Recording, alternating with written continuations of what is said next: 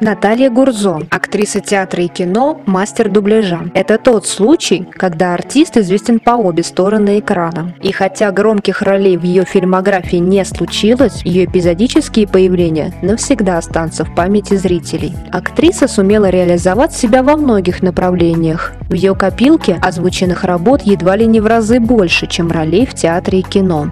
Конечно, все вы знаете такие анимационные фильмы, как Чип и Дейл спешат на помощь, а также Дятел Вуди. В первом проекте она озвучила Гаечку, а во втором самого Вуди.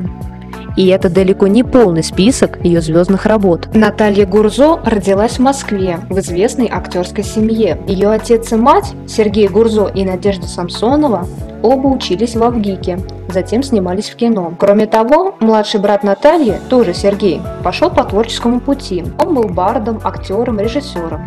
К сожалению, не так давно умер от остановки сердца. Его вдова позже рассказывала в одном из интервью. «Мы отдыхали с мужем в моем доме в Евпатории.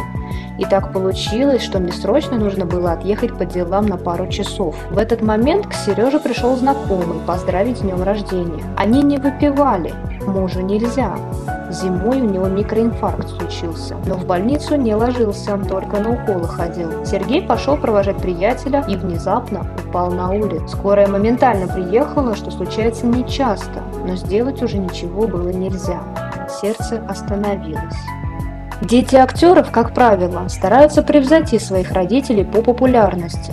С другой стороны, это очень ответственно – не уронить честь фамилии. Наталья Гурзо росла активным, жизнерадостным ребенком. У девушки не было сомнений, по какой дороге идти. Она с первого раза поступила в Щепкинское училище. Сниматься в кино начала еще будучи студенткой. Ее дебют в фильме «Кто придумал колесо».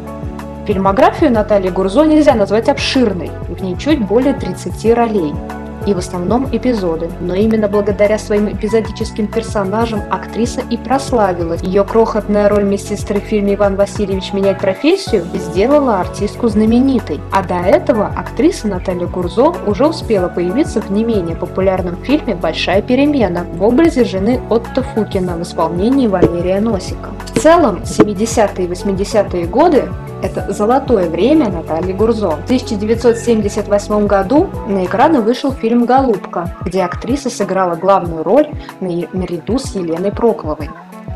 Многие зрители ее запомнили как Наташу, молодую любовницу, ставшую женой профессора Смирновского в исполнении Леонида Маркова из фильма «Гараж». Последней ее работой в кино стала картина младшего брата «Рабе Вумен», или по-другому «Резиновая женщина», где Наталья как раз и сыграла эту женщину.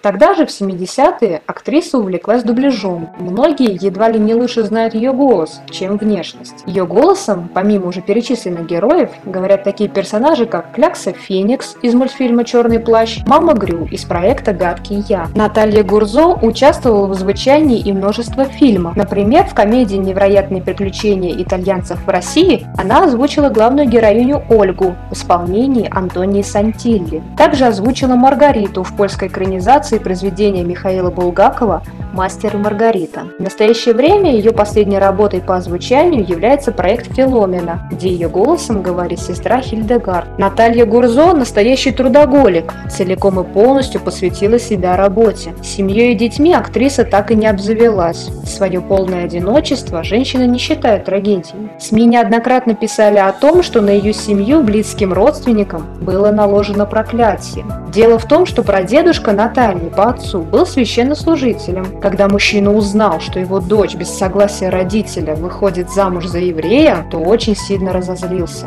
Якобы даже проклял свой род. Этим фактом часто объясняют одиночество Натальи. А вот у ее младшего брата Сергея в личной жизни было все в порядке. Он состоял в браке, сначала фактическом, затем гражданском, более 40 лет.